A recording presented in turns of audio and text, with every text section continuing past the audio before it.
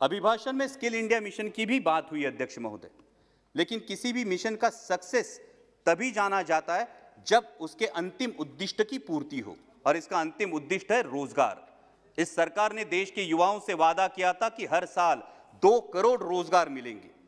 लेकिन अगर आंकड़े देखे जाए तो आज भी देश में पाँच करोड़ युवा बेरोजगार है। और इसी के लिए स्टार्टअप्स या मेक इन इंडिया के साथ मनरेगा की स्ट्रेंथनिंग और अर्बन वर्जन ऑफ़ मनरेगा जैसे विकल्पों पर विचार होना चाहिए। क्योंकि हमारे देश के युवाओं में एक प्रचंड ऊर्जा है और अगर इस ऊर्जा को हम सही दिशा में संचालित करना चाहते हैं तो सरकार की ज़िम्मेदारी है कि वो जॉब क्रिएशन करे और युवाओं को जॉब सिक्योरिटी भी दे।